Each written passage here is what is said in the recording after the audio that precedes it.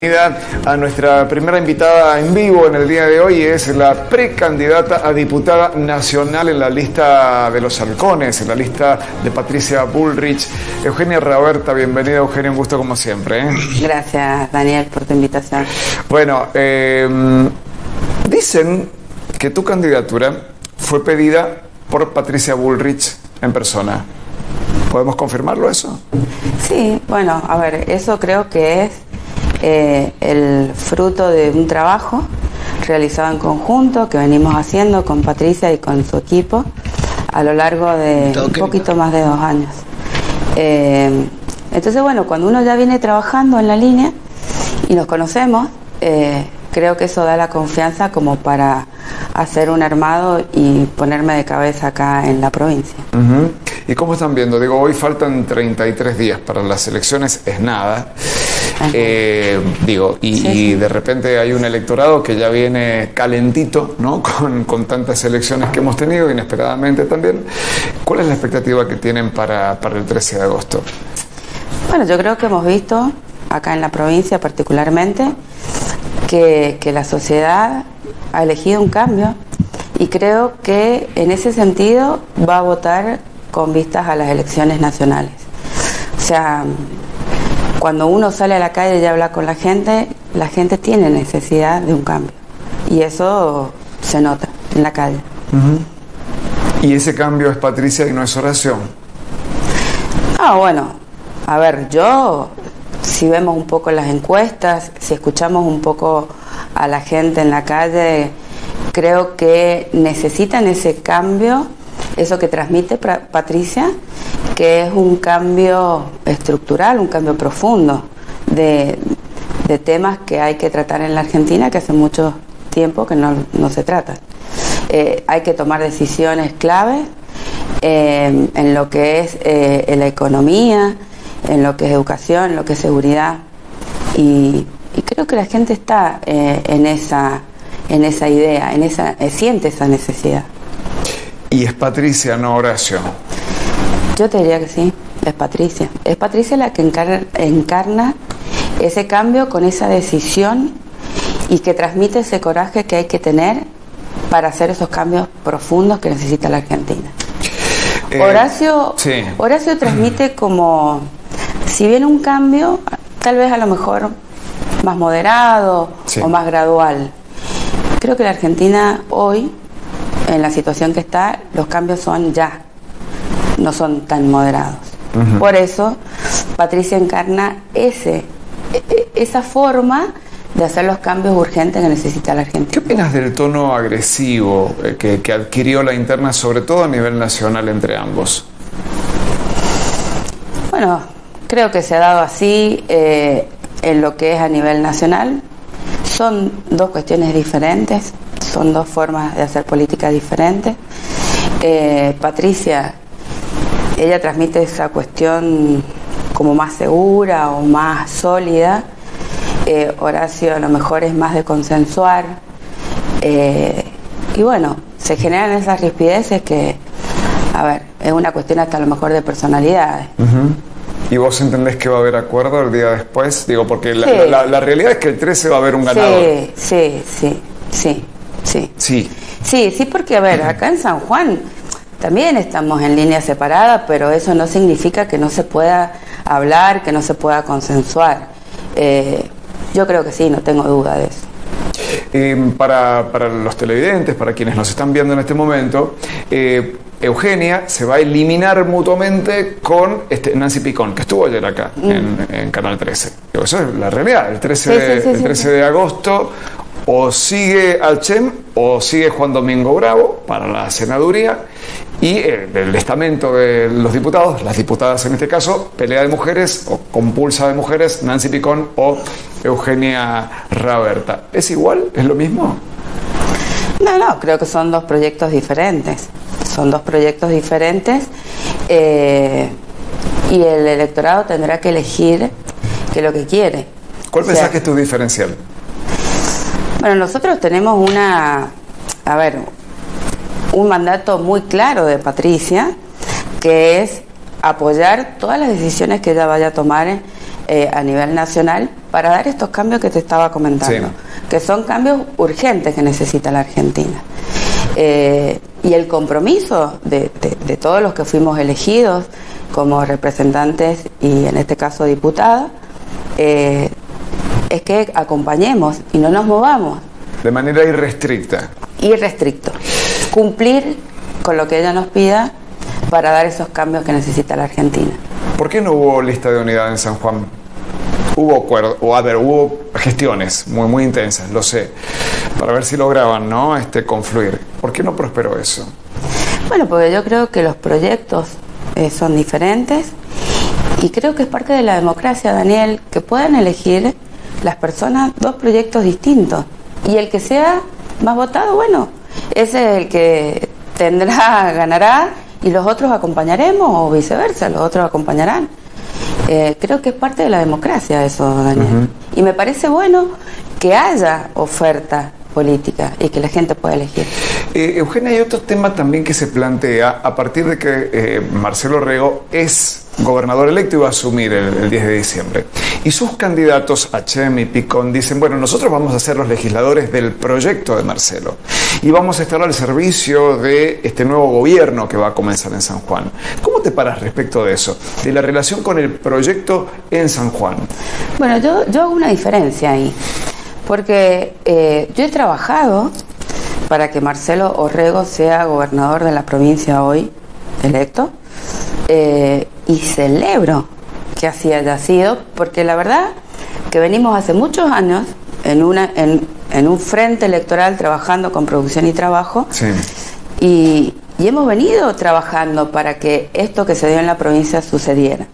Ahora, es una cuestión provincial eso, es una, fue una elección provincial.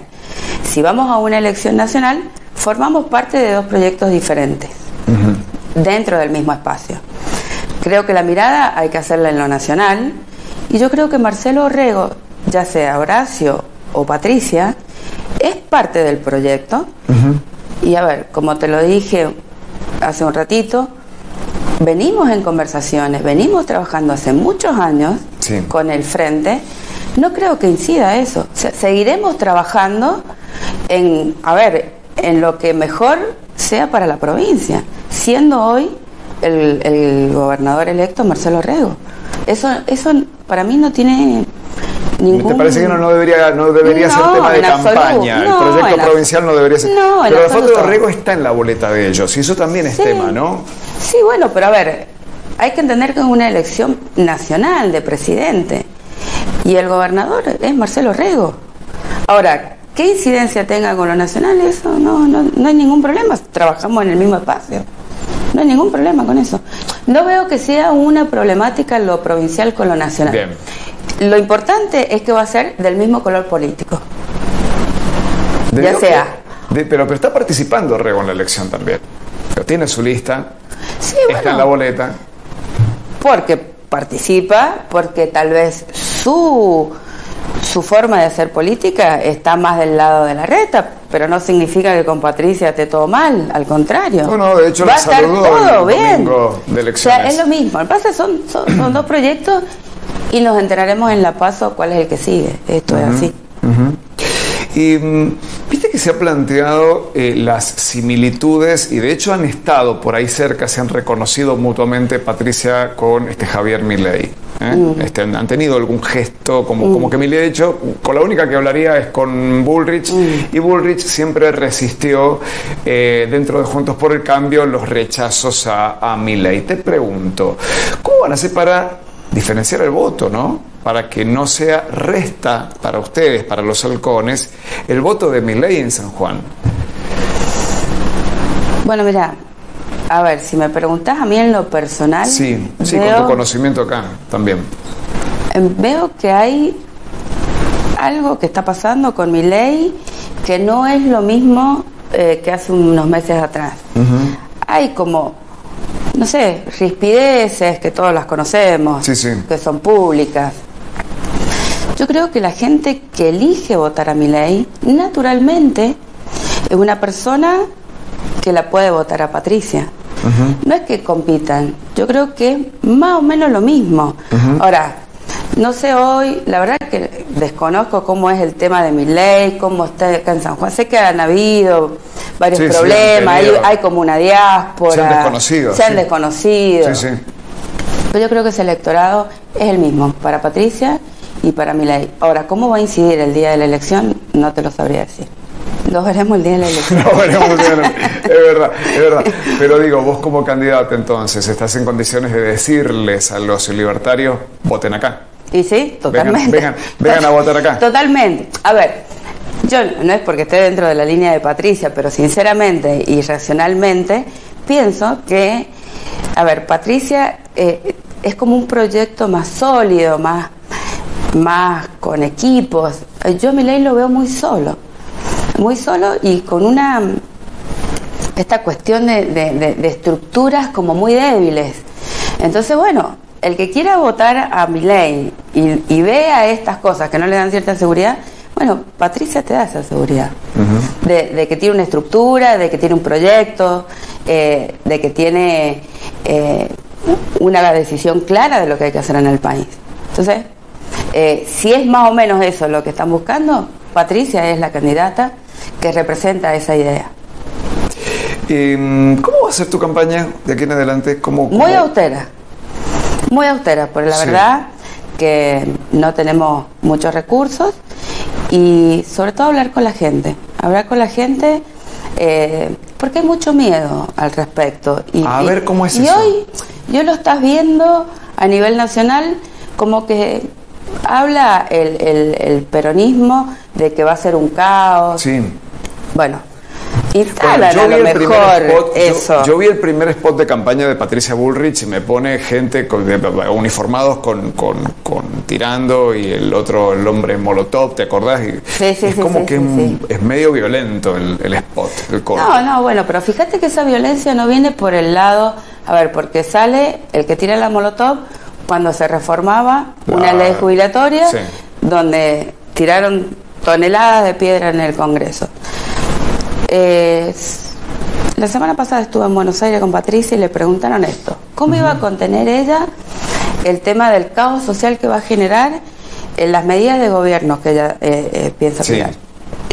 Y la, y, y la contestación fue al revés. A ver, si uno hace las cosas bien, si vos bajás o solucionás el tema económico, si bajás la inflación, si empezás a ver o a ordenar la economía, si empezás a ordenar la seguridad, si empezás a mejorar la educación, ¿por qué tiene que haber caos? Si la gente empieza a vivir mejor, no tiene por qué haber caos. Entonces, como que esta instalación de que va a ser todo un caos, no es tal. No es tal. Si lo pensás racionalmente y haciendo las cosas que hay que hacer en la Argentina, porque de verdad que hay que bajar la inflación, la inflación hay que bajar impuestos. No puede ser que hoy un, empresario tenga que pagar el 50% de su ganancia en impuestos. O sea, no hay gente que quiera in- invertir en, la- en el país. Entonces, son cosas y decisiones que hay que tomarlas. Si eso prospera, porque es algo lógico que tiene que suceder, no tiene por qué haber caos social. No tiene que haber, no tiene, no tiene por qué. ¿Y el salario, Eugenia? Y el salario tiene que ser un salario acorde. A ver, no podemos seguir emitiendo y no bajar el déficit fiscal, porque creo que ya, ya como vivimos hoy, no se puede vivir, Daniel. O sea, vos vas hoy al supermercado, te sube, ayer o antes de ayer, fui a cargar combustible, ya ha subido. O sea, no, no se puede vivir porque no, no te rinde el dinero tampoco. Entonces, eh, tampoco el plan social te está sirviendo hoy para sobrevivir. De hecho, ¿hace cuántos años que venimos con los planes? ¿Mejoró algo la Argentina? ¿Sacamos la pobreza? No. Entonces, plantémonos como sociedad a decir, che, así no es. Veamos de otra forma, si seguimos haciendo lo mismo. Evidentemente por ahí no es. Eh, ¿Va a venir Patricia? Sí, creería Va que va a venir, va. La idea es que venga. Eh, también tenemos el vicepresidente que está más cerca